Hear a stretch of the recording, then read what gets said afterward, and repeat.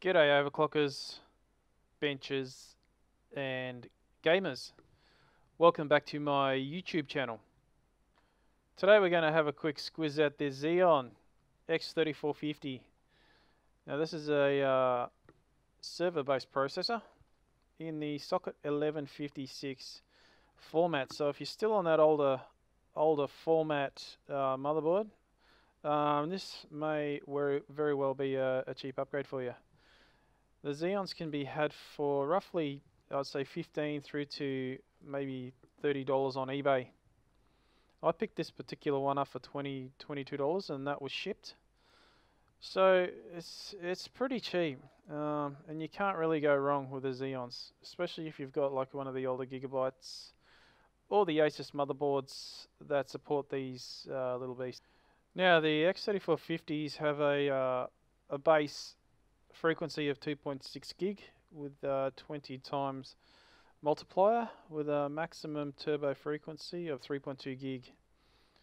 And it's a 4 core processor with a total of yeah, the desktop equivalent to this would probably be the i7-860 and which still go for a lot on eBay. So yeah don't waste your money on the um, the actual i7 desktop because they're a friggin' waste of money and these Xeon processors clock just as well, if not even better than the desktop equivalent.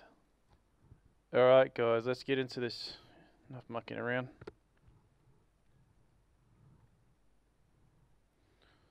Straight into BIOS, Control F1,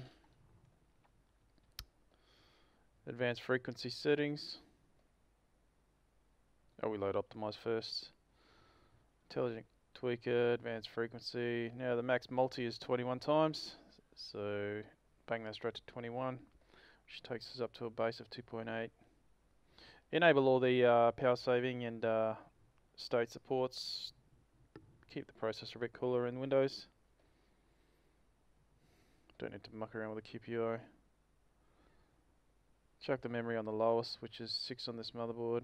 Enable the base clock and we'll whack that to say 175 which takes our non-turbo frequency to 3.71 gig. Now the turbo will be, I think, around 4.2 for one or two cores. LLC enabled. Um, try 1.25 vCore to start and see how we go. See if we can boot into Windows. RAM at, at the stock 1.6 volts. Tidy up the the basics. Disable full screen. Then into uh, AHCI mode for the for the SSD. Save that and um,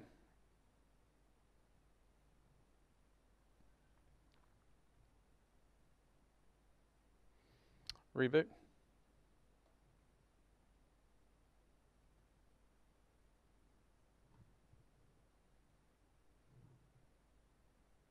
Alright, so I booted up. That's a good sign.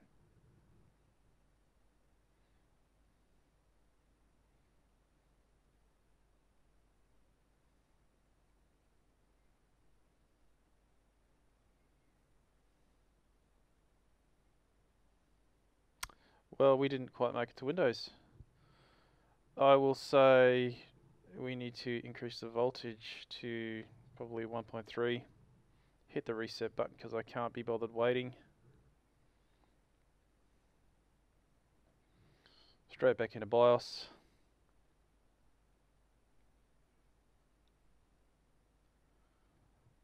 And whack the volts. Uh, probably. Yeah, we'll try 1.3, see if we can boot into Windows at that.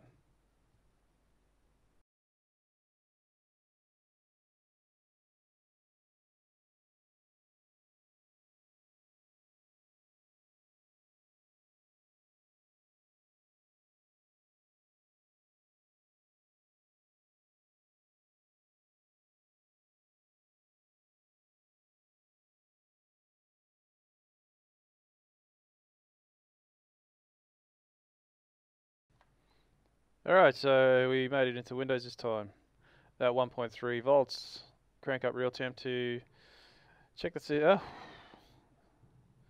Oh. Okay then, so looks like we need to increase the volts a little bit more. So I think we'll probably just whack it to 1.35 and see how we go. Hit delete, control F1.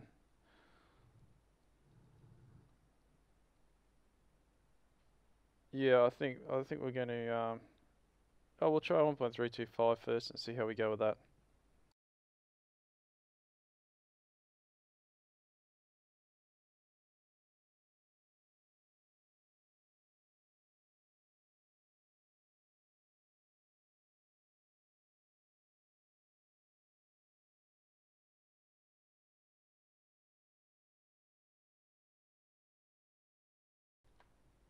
Okay, so here we are back in Windows again.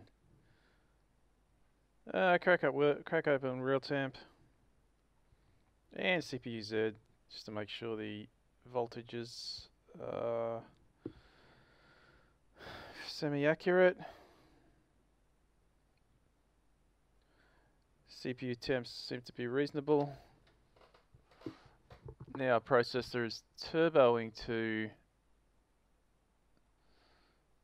4.2 gig, 4.238 gigahertz. Now that would be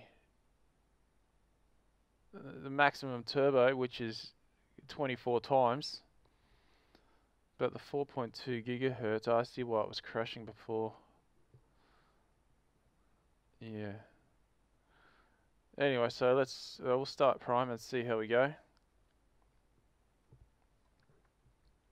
Well, it's lasted a few seconds at least, so we'll give that, and temps seem quite high.